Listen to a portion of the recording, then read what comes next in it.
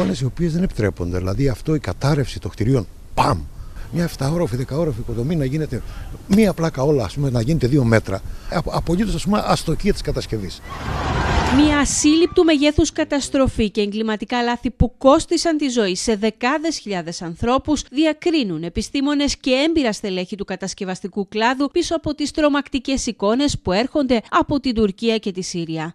Τεράστια κτίρια 10 και 12 ορόφων έχουν μετατραπεί σε σκόνη από την κατακόρυφη δόνηση που ξερίζωσε τα κτίρια από τα θεμέλια τους, όπως εξήγησε μιλώντας στο κεντρικό δελτίο ειδήσεων της Κρήτη TV από την Τουρκία όπου βρίσκεται ο καθηγητής αντισυσμικών κατασκευών Παναγιώτης Καρίδης. Έντονη κατακόρυφη δόνηση, συνιστόσα, κάνει αποκόλληση από το έδαφος. Λες και έχουμε βάλει εκρηκτικά για την κατεδάφιση του κτηρίου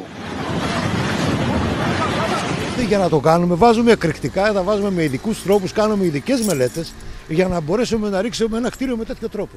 Απουσία οπλισμού και δομικών υλικών τα οποία επιβάλλουν οι σύγχρονοι αντισυσμικοί κανονισμοί που εφαρμόζονται στην Ελλάδα είναι εμφανή στις απόκοσμες εικόνες από τις περιοχές τι οποίες σάρωσε ο σεισμός. Τα συμβαστικά λάθη τα οποία είναι διακριτά τουλάχιστον σε εμάς με την πρώτη ματιά, είτε από την έλλειψη οπλισμού. Σε κάθε περίπτωση ο σχεδιασμός τους δεν ήταν αυτός που θα έπρεπε να είναι ή αυτός που ορίζει ο δικός μας κανονισμός. Η επιτάχυνση του σεισμικού κύματος έφτασε ακόμη και τα 2G, όπως επισημαίνει ο καθηγητής γεωλογίας Σπύρος Παυλίδης, μιλώντας στο ράδιο 984. Τι σημαίνει ένα G, ως η επιτάχυνση της βαρύτητας, δηλαδή σαν να είναι στον αέρα και την, και την ώρα. Είτε το κτίριο για να δείτε πέτρες που εκτινάσσονται.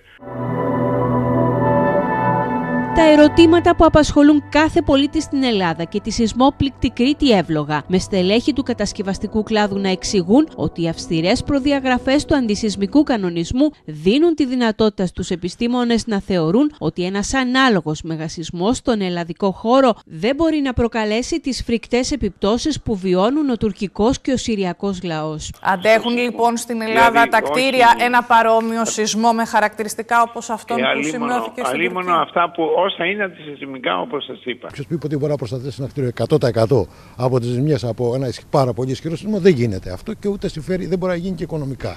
Δηλαδή φτάνουν πλέον σε αλλά μπορούμε να φροντίσουμε ώστε να προλάβει ο κόσμος να φύγει με ασφάλεια, τα παιδάκια να βγει έξω, να μην έχουμε θύματα, να μην χαθούν ανθρώπινες ζωές.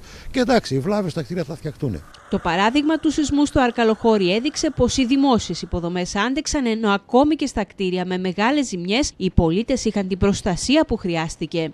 Οι εκτιμήσεις των ειδικών αφορούν, όπως επισημαίνουν, τις σύγχρονες κατασκευές, δημόσιες και ιδιωτικές. Με μεγάλο ερώτημα, ωστόσο, το κομμάτι των αυθαιρέτων, όπου το Τεχνικό Επιμελητήριο Ανατολικής Κρήτης έχει ζητήσει να δοθούν κίνητρα στους ιδιοκτήτες ώστε να κάνουν έλεγχο στατικότητας μέσα από διαδικασίες όπως η έκδοση ενεργειακού πιστοποιητικού. Δεν μπορούμε να, να, να βαθμίζουμε ενεργειακά τα κτίρια μας χωρίς να τα έχουμε θωρακίσει αντισυσμικά. Κόκκινη ζώνη, ωστόσο, αποτελούν περιοχές όπως η παλιά πόλη του Ηρακλείου. Πριν από περίπου δύο χρόνια, Τεχνικό Επιμελητήριο και Δήμος Ηρακλείου πραγματοποίησαν ελέγχους σε περισσότερα από 700 κτίρια, από τα οποία πάνω από το 40% θεωρείται ότι είναι επικίνδυνα ακόμη και χωρίς να μεσολαβήσει σεισμός. Αυτά μπορούν να, να υποστούν φθορές ή να, να, να καταρρεύσουν με πολύ μικρότερες ε, σεισμικές δονήσεις. Είναι ένας μεγάλος αριθμός, ξεπερνά το 30 με 40% των αυτοψιών των οποίων έγιναν ε, και κάποια από αυτά μπορούν και να επισκευαστούν. Γνωρίζω ότι ο Δήμος Ηρακλείου έχει προχωρήσει στη διαδικασία της ενημέρωσης των ιδιοκτητών αυτών